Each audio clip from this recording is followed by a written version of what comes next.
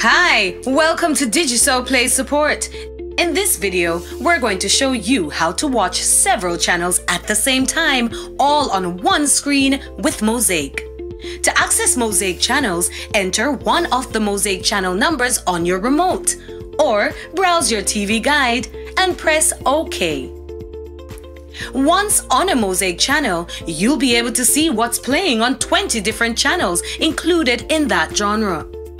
To choose a channel from a mosaic, use the arrow keys to scroll to that channel. As you scroll, you'll only be able to hear the audio for the channels included in your package. Once you are on the channel you want to watch, press OK.